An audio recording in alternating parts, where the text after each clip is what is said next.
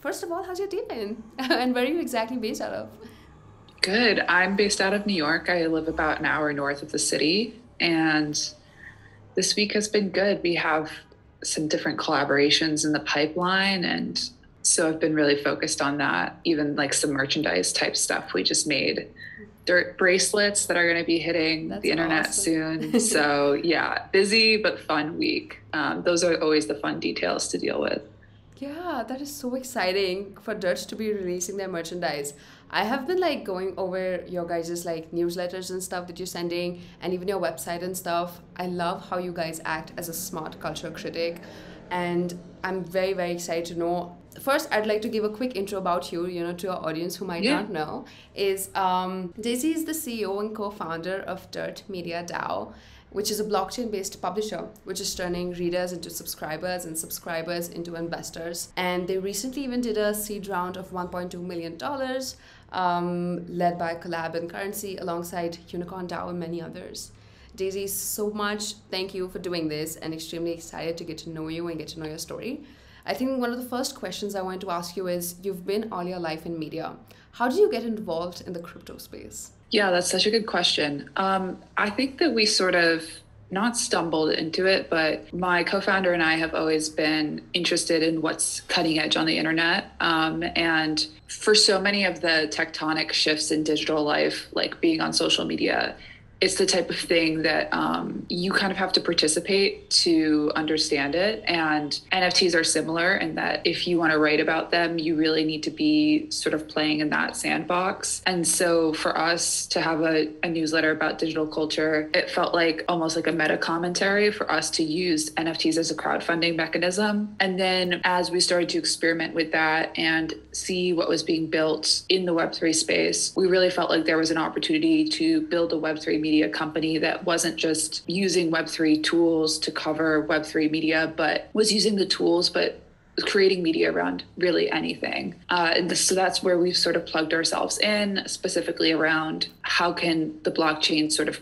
change the relationship between a subscriber and a publication and create not only more of a two-way street, but more value for both parties. And that's how we sort of got started down this road. That's amazing. And when did you first discover about NFTs? Did you end up being a collector? Like, how did talk about that journey? So, I think that my co founder's first NFT was a blip map rose. Um, my first NFT was one of our dirt editions, which we launched with Mirror in, I believe, May or June 2021. Um, but as you know, like six months in yeah. crypto space is like multiple years. So it seems like a really long time ago. But yeah. my first NFT was actually a dirt NFT. So it's a special one to me. That's amazing. And did you guys first start with NFTs or did you first try and build a community on Discord, on Twitter? Like, how did you go about that initial first steps? Well, our community was really just the email newsletter list up until that point. I think we launched the Discord around the same time we started selling the NFTs. So now, you know, we're working on building our own platform, but right now you could say our community is sort of distributed across a few different audiences. There's the newsletter, Discord, the NFT holders, the token holders, and there's a lot of people there's a couple hundred people sort of sitting in the middle of that venn diagram but there's others there's certain other people that really only want to engage in one of those pools and so a big part of thinking about how are we going to structure dirt was how do you serve the people that only want to engage on a free subscriber level mm-hmm. and then how do you serve the people who are the most loyal um, consumers of your brand that want to be essentially micro investors and so the, all of the way that dirt is being structured is to strike that balance. That's amazing. And you mentioned you have about 160 wallets, you know, involved in your DAO. Yeah. And each of them are, you know, subscribers worth $500, which is unheard of in the consumer media like subscription space. How were mm-hmm. you able to establish that customer base, people who were willing to pay for, you know, culture critic and news and updates about the culture? Yeah, so I think we sold around $90,000 worth of NFTs in the crowdfunding space and that was over multiple drops. And then there's around 200 wallets in the ecosystem. So yeah, it shakes out to as if each person had given us $500. Some people gave a lot more than that, some people gave less. I think moving away from this skeuomorphic idea that a subscription is something that you give once a year in order to access content and then it sort of just like goes away at the end of the year and you renew it to an idea that like a media company could offer like operate more like a streetwear company where mm. yes maybe you purchase a subscription but you can also um, become a super collector or super fan by picking up other collaborations or limited edition drops throughout the year, which really hasn't been explored as much up until this point. And the thing about the blockchain is that, yes, this would be technically possible without it, but the overhead for bringing a digital product to market is so much lower than trying to have a tote bag or a hat for your publication. Because while those things are very cool and we're certainly going to have physical merchandise, you have to have somebody's home address, you have to have their email, you have to have their credit card. If you want to surprise and delight somebody with an airdrop, that's a subscriber to your publication, all that you need is their wallet address. So there really is like a re architecting of this relationship where rather than the fundamental unit of consumer data being an email address or a home address, it's a wallet. For us, I would argue we're sort of sitting in 2.5 where having a wallet and having an email address are, I think, equally important and have, have been equal parts of our business model. Right. Um, I also recognize that like the ability to keep those two things separate or have people that only want to be an email address or only want to be a wallet address is really important for people's data at this time, especially people that have been very burned by um, the lack of personal data in the last digital media boom and the sort of um, manipulations of the algorithm, which actually really came to a head this week uh, with a lot of criticism towards Instagram. So yeah, I think um, I'm like going so far away from your original question. But, no, it um, makes sense and it adds up. You know, it's not yeah. easy. So I appreciate that. Like I appreciate you going in detail. Yeah, well, basically, like it's a long way of saying um, people will spend more money than they would on a one-time subscription because they just they perceive it differently. Um, they perceive it as having more value um, they feel like they're getting more out of it. And you know media like it's it's a really good opportunity for me to have this because so many of the old business models like digital advertising and subscriber revenue are going away. And do you or they're going away in the previous form. Right.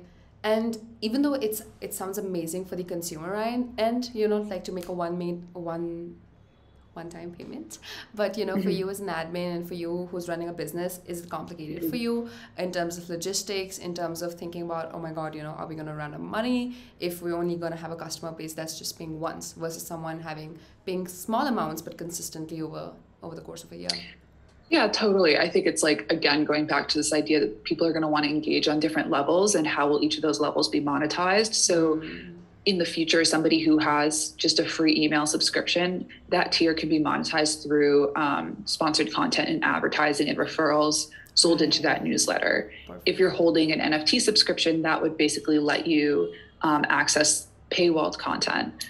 Um, and then the dao tier is like a founder pass or a token holder which is you know more expensive will generate more secondary market revenue because there'll only be a limited amount of them um, and so that tier is sort of investing in like a different way. But with each sort of level of engagement with the publication, there is its own sort of business model and like product market or product audience fit around, okay, what makes this consumer valuable to us? What makes us valuable to them? What are they hoping to get out of this relationship? That is super smart. I love how you talk about monetizing in such different manners you know um, your content and your media. It's amazing. And it's very very empowering for the people you know. I feel like there's so many amazing content writers. Even if it's on an individual level or if it's an agency they might be really talented but if they don't know how to monetize it it's very very difficult for them to sustain themselves and that quality. And you know we as consumers end up missing out on a lot so I think that's incredible. And I'd like to love, um, I'd love to ask you, why do you think there isn't such interest and such hype around DAOs as compared to NFTs and crypto? Um, I think, well, I think that DAOs are still sort of finding a balance between the spectrum of extreme centralization and decentralization. I think every DAO is going to fall at a different point on that spectrum. Um, but maybe you know an nft is something that you purchase. I think the average person can understand the financial speculation motivation even if they're not incentivized to have it. But that nft relationship i think is almost like without the structure of a dao or community is like a one-off consumer relationship right? You mm. made this one-time purchase you now own this thing with a DAO, it's an ongoing relationship. You're really plugging yourself into a structure. And I think it requires more, I don't want to say sophistication on the participants' part because it's really putting it on them. I think it's really on the DAO to master the messaging around what it means to plug yourself into that ecosystem of the DAO, mm. what your participation means, and the value of your participation to yourself, the value of your participation to the overall brand or brand equity around the DAO. And so for us, we think of our DAO as an editorial board, a group of people who are sort of super fans and micro investors in dirt, making curated decisions around story ideas. Mm. Everyone knows what an editorial board is, right? So this is like very easy to understand. Everyone understands, okay, this is a group of people investing together. This is a group of people voting on which NFTs to collect. But there's a whole, like, there's a, a wide uh, world of utility that DAOs could engage in that like they just I think aren't because the messaging around that structure isn't there. It's still at the level of like a thought experiment, right? And like dirt is really an attempt to take the thought experiment of what a media DAO could be and like put it into play. Um, but I don't think I, I, feel uncomfortable shifting it onto the level of sophistication of the consumer because I think it's really up to a DAO to say like, yes, this might have a few more steps than an NFT. Um, but like long term, this is like signing up for a social network, or this is like signing up for you know an editorial board or a union or a cooperative and really help people to understand what that relationship is going to mean to them. Whereas like the nft relationship can be as superficial as like something you buy once. I love that answer and it's so interesting to see. I feel like we i wasn't aware of a lot of media daos and i'm extremely mm-hmm. curious to know how is it that you guys exactly operate right? I feel like you as a media dao you have so many contributors coming from like various fields whether they're writers whether they're graphic people whoever it might be and say for example bankless dao right like to get one task done they have to follow so many steps to get people on mm-hmm. discord then go to discord for discussion or go to snapshot for like proposal voting then take mm-hmm. a project management tool and then uh, you know um, i think it's called gnosis for treasury and stuff Mm-hmm. How is it that you guys operate internally? Yeah, I mean, some of the steps are similar. Um, we've We've realized though that like email is still like a very useful tool to communicate in this space. So we do actually have an internal DAO newsletter that people, you know, we have people onboard themselves into from Discord. So we've started like announcing our votes in that newsletter just to have more mm-hmm. visibility for people that don't spend all day on Discord. Yeah. Um, but yeah, we do still use Snapshot as our voting mechanism. And, you know, I don't see us moving away from that in the short term. Yeah. So the idea of like a future platform that consolidates some of these steps is like definitely very appealing and something that we're invested in working on. Um, but right now it is a little bit of like a triangle between like Discord, your inbox, and Snapshot, and try to keep it like pretty tight, but haven't been able to consolidate it tighter than that. I know that there are some DAOs, and for certain votes, you can do like an up down vote in Discord.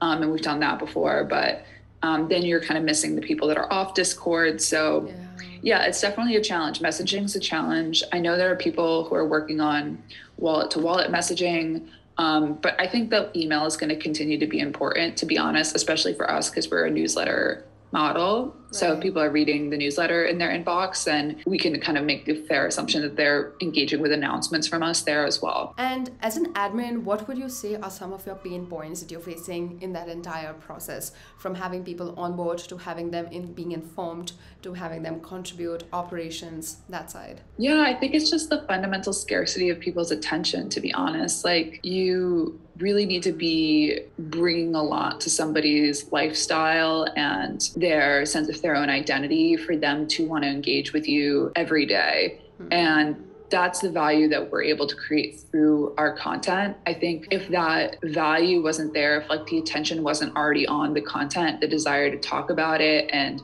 talk about it with other people in Discord or recommend other cultural products to one another, it would be a lot more difficult, I think, to engage people's attention long term. The substance and the the really great writing and dirt is like sort of the baseline that everyone can engage around. So even though people might come in and out of participating in each vote, as long as they're staying in that subscriber relationship, as long as they consider themselves readers of dirt, we still have their attention and their time. Mm. Um, and so I think the pain point is how do you take that reader and move them to the next level of participation consistently?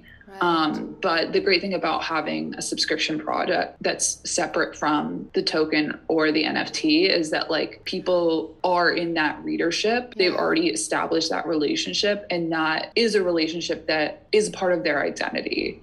Um, and so the the idea of being a DAO member, that I, their affinity for that might not be as deep as being a reader of the content. Right. But we know because they're a reader of the content that we can be working on that relationship consistently, and that that relationship could deepen at any time. And do you feel like you struggle with educating people what are DAOs in the first place to have them even come in and contribute and participate in your DAO? Like how is it that you work on that? Yeah definitely. It's something that like it can come across as overly complicated. I think you know sort of like i was talking about before like people might understand it better if it's framed as an editorial board. I also use like a lot of analogies. I talk about publications that already exist like the new york times with really sort of passionate communities around certain sections like for example the recipe section. Um, that community is so passionate that you can actually have like a separate cooking only subscription to the New York Times so you can like save your recipes. And if you read the comments on the recipes, people are writing like really substantial stories or additions or modifications. But even as passionate as that community is, it's not a two way street, right? Like mm. They're not able to actually develop those recipes or vote on what they want to see or cuisines they want to see highlighted. So if the New York Times is going to go one step further and say, okay, all of you cooking subscribers, you have this separate um, subscription because you love the cooking section so much, like we're going to give you this pass that basically enables you to make decisions around what you see in this section, that would be a huge step forward into re-architecting this relationship between the New York Times and the New York Times subscriber to be more of a two-way street where you actually have a mechanism to talk back to the Times, to create value for the Times, to have a stake in the Times that isn't just, oh, you can send a tweet or an editor's letter with your feedback. Yeah. And people understand that analogy. Um, and I think it makes a lot of sense to them. The problem with media that already exists is like a lot of these are really big ships to turn, right? Like to take a company like the New York Times or Condé Nast and divert investment into Web3, not knowing what's going to happen or not knowing whether there's going to be a possibility to enter the space authentically. Like you can't just take a Discord and tack it onto GQ and call it a day or tack a Discord onto Vogue and call it a day, right? So, yeah. you know, we can see how this might be an improvement for these publications, but you can also understand how difficult it would be to just start a DAO. Whereas for us, I feel like we're in a better position because even though we have less brand equity and less prestige and history, this is in the DNA of our publication. So this is a this is sort of one of the first lifestyle publications to actually be born of Web three, um, and that's a really powerful position to be in. That's amazing. I have so many DAO questions for you, but since in this podcast we also love to like dive into your own personal stories because Web3 is like it's so familiar with anonymity, right? Like people have different mm-hmm. names on Discord. You really you barely know who are the people behind them. So I'd love mm-hmm. to know what is your story, you know, from start to beginning to how you're here now as a person. Well, I've worked in audience development in media for about a decade. Um, I'm also a writer myself. So I was able to see sort of the full arc of the digital media boom, the way that digital ad revenue didn't ever really effectively replace print revenue for most publications and also the fact that like facebook and twitter some of these algorithmic platforms um, started out as a way for publishers to distribute their content and then ended up just siphoning a lot of value away from these publishers and creators in a way that was pretty damaging. You know, I saw publishers that were sort of chasing after changes in the algorithm, like the pivot to video, hiring more video creators, realizing that those analytics weren't always accurate, and then you know people's jobs were on the line in a very real way. So having seen that, having seen behind the scenes and worked at um, media startups like Airmail and First Look Media, but also established media publications like New York Magazine, I think I was really well positioned to see, if not the like, if not full assurance that Web3 could be a better model to at least be curious that it might be. And so for my co-founder I like we always say like we're not trying to save media or save journalism. We're just simply building the media company that we want to see in the world. with the best possible tools available to us at this time. And, and these are the tools that we think are the most compelling um, and the most promising for finding a media model that can be more sustainable. And have you you've been born and raised in New York? Oh, I'm from Massachusetts. Yeah, so I was born in Massachusetts, raised in Massachusetts. I went to college in Maine and then I moved to New York after college. I was in the city in Brooklyn for a long time and then I moved upstate a bit, not not technically upstate, but north of the city. Yeah. And now I still spend a lot of time in the city. I have a lot of friends that are there. But you know, that concentration of the media industry in New York is very real. Um, but yeah I think people have also realized through remote work that yes, there's something very energizing and compelling about this skyscraper with 10 magazines, one on each floor. You know, we have a lot of nostalgia for that. We miss it. But for the people that were at the tail end of that, there was a lot of disarray, disorganization, instability, inequality in the labor between people who have worked in magazines for decades and people who are just starting out now and trying to make a living on that salary. So, you know, there's a lot of issues in media that I think are not necessarily unique to media, but because media is all about communicating and telling stories and externalizing what's happening in the culture, it's a lot easier for that to be communicated and like come to a head. So I guess like for me as somebody who's like very curious about technology and was always on the side of building audience engagement and like community, I'm I'm curious about what the future holds. And I wanted to stop living, stop working places where I didn't feel like I had a sense of control. You know, starting a company with emerging tools is a very risky thing, but in a way, I feel like I have more control over my life than I did when I was working for yeah. other publications and other people. And that's like a very powerful feeling. I'm super excited for you. I know how um, how much of a struggle it can be to be in this space and build a career and business in this space because there's so much ambiguity in this space, right? And there's so much yeah. like negative connotation attached to it also. I'm sure like people told you like, oh my god, crypto is a fad. What are you doing? Why are you leaving? You know, like a well-paid, secure job to start something in this area. What has been your answer to critiques like that? Oh, I think it's yeah, it's such a good question. Um, well, one analogy that I use a lot and seems to resonate with people is that the blockchain is like architecture and cryptocurrency is like real estate. um, and I'm really like, I'm an architect, right? So the underlying ledger of transactions and storage of transactions that's like urban planning or architecture right? Like you're creating the structures that people are going to actually live their lives within. Cryptocurrency is a financial layer over that. So even if you believe okay real estate's a bubble or cryptocurrency is a bubble that bubble bursts the mechanics the value of the underlying structures to humanity and to culture and the way people interact with each other doesn't change and so you can be interested in being an architect on the blockchain without being overly invested or, um, you know, putting all your eggs in the basket of the financial speculation that's built over it. And people understand that. Um, I think the problem is in like cryptocurrency and the blockchain are so often conflated. You know, cryptocurrency is the most visible use for the blockchain right now. Um, and so it's difficult for people to parse that. And like, I don't blame them. How has it been um, being in New York? Were you able to attend the NFT NYC or even like DAO NYC mm-hmm. they had recently? Like, were you able to attend it? Yes, I was at NFT NYC and we threw our own party and it was very fun. So exciting. Um, we, yeah, we had like a, we wanted to do something classy. So we had a really nice um, small gathering at a wine bar on the Lower East Side and brought together investors and members of the DAO and readers and um, it was actually a really good mix of people from media and from this Web3 space just mingling and getting to know each other, which is very on brand for us. That's amazing. Yeah. yeah. Was it like your first time meeting your readers in real life? Like, how did that interaction go? It would have been so surreal. Yeah, for some people, uh, it was my first time meeting them. Um, first time meeting some investors in person. So yeah, I guess I do put a lot of um, stock in like virtual relationships. So I feel like that off online offline split is like less weird than it used to be. But yeah, there's really no substitute for meeting somebody in person for the first time and saying like, oh my gosh, you're like taller than I thought you would be. you know what I mean? Mean? For yeah. sure. That's amazing. You know, we've uh, we are a DAO tooling company, And one mm-hmm. of the first things, four things we're developing is one is a discovery tool where a lot of like consumers can come and just discover DAOs because a lot of questions are like, you know, how do I even find the right DAO? Right? Mm-hmm. The you can Google it, but it takes a lot of time to really get down to like, you know, the correct answers for you. Uh, next is the onboarding tool, which we just integrated to our Discord.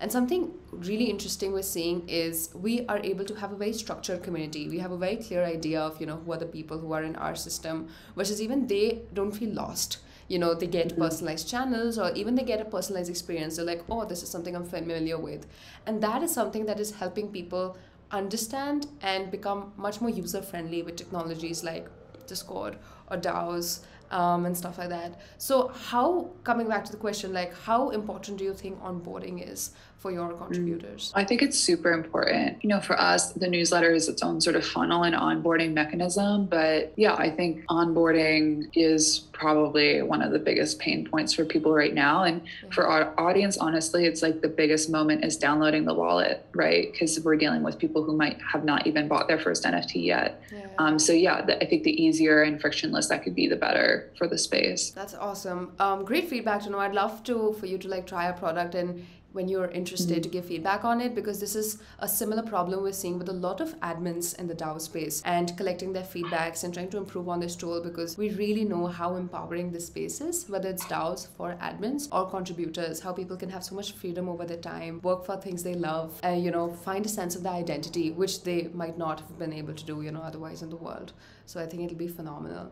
And I'd love to ask you also if the meeting ends, please do rejoin. Um, oh, yeah, of course. So, one of the things I'd love to ask you is what's your why um, to being in the crypto space? Why not AI? Mm. Why not some other form of tech? Like, why crypto? Well, I'm not really a technologist. Like the things that I understand about technology are the point that technology touches culture. Um, and so this space I was able to understand through a cultural lens and understand that the blockchain had the potential to touch every part of culture. Um, and that's what made it legible to me because, like, that's my world. Um, and the people who have self selected into our project, especially the investors, are all people who care a lot about culture at large and in general, and whether that's fashion or music or books. And so, those two things, you know, the technology and these cultural products don't exist in a vacuum. Um, and so, I sort of am motivated to be at that intersection